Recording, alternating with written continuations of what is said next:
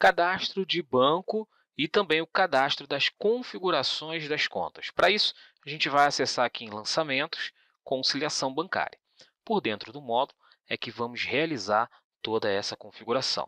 Primeiro passo, a gente vai acessar aqui em Arquivo, Tabelas, Bancos. Dentro dessa relação aqui de cadastros, a gente vai indicar qual é o banco. Então, ao clicar aqui em Novo Cadastro, você vai selecionar aqui o banco da sua preferência. Né? Então, a gente vai, por exemplo, selecionar o banco que você vai trabalhar. Aqui é de acordo com a tabela FEBRABAN. Então, você vai ter aqui é, diversas opções de seleção de banco. E aí você vai procurar e possivelmente o seu banco vai estar na listagem. Uma vez que você seleciona o seu banco, você precisa então indicar aqui o diretório do arquivo, ou seja, em que lugar da máquina você encontra, por exemplo, o seu arquivo de é, extrato bancário, né, naquelas extensões UFX, UFC.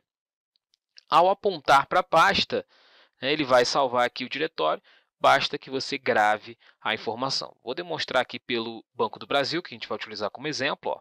Indiquei o diretório e gravei então, o primeiro passo já foi feito, que é o cadastro de banco. Agora, a gente passa para uma próxima etapa, que é muito importante, que é aqui em Arquivo, Tabelas, Configuração das contas. Agora, você precisa selecionar a empresa. E, a partir desse momento, ele vai demonstrar as contas que você tem vinculadas a essa empresa, de qualquer banco. É, para fazer esse cadastro, basta clicar aqui em Novo Cadastro, selecionar o banco naquela relação de bancos que a gente acabou de verificar, seleciona o banco e a partir daí você vai colocar os outros dados. Vou explicar baseado nesse cadastro aqui que eu tenho do Banco do Brasil, por exemplo. Então, aqui eu selecionei o meu é, banco com o seu diretório de arquivo. O número da agência não precisa necessariamente colocar o número da agência igual né, tem no extrato. Você pode colocar 0000, que também é um número aceito aqui a título de agência. Número da conta corrente, você vai colocar exatamente o número da conta corrente com o dígito verificador, de acordo com o número da conta do banco. Tá?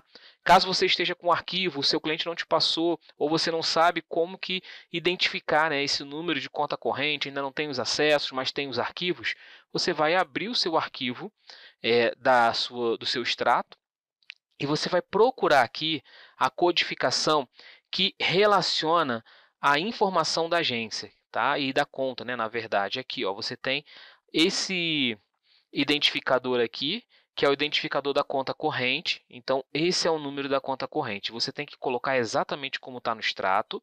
Tá? Então, você pode até copiar daqui e depois acessar aqui na conciliação para inserir esse número. Por que, que tem que ser exato? Porque se o número for diferente, ele não vai encontrar esse extrato quando você pedir para realizar a importação do extrato.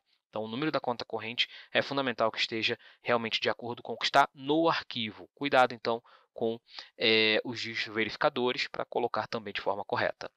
A data de início da movimentação contábil, tá? então pode ser inserida aqui a data de início da movimentação contábil, para que ele apresente para você né, o movimento da conta que você tem nesse período. E aqui embaixo também, muito importante, a informação do código da conta contábil. Então, você precisa, nesse momento, clicar aqui e procurar dentro do seu plano de contas qual é o número da sua conta contábil relacionada a esse banco que você está colocando nesse momento. Isso é extremamente importante, tá? Porque se a conta contábil for diferente da que realmente você movimentou no contábil, você não vai ter os movimentos efetuados. Então é importante o vínculo correto. E o tipo de arquivo, que agora você aprender a identificar, que basta abrir né, o arquivo de extrato e você vai verificar lá o tipo de extensão. Mesmo sem abrir, né, a configuração do Windows com detalhes, ele pode apresentar para você o tipo de arquivo. Então por aqui você também consegue identificar essa informação. Basta marcar o tipo e gravar e aí você vai ter os principais cadastros para iniciar a importação do extrato, que é a configuração do banco, com o diretório e a configuração das contas correntes dessa empresa. Então aqui eu fiz um cadastro, mas eu posso fazer tantos outros forem necessários de acordo com os bancos e de acordo com as contas existentes para a empresa.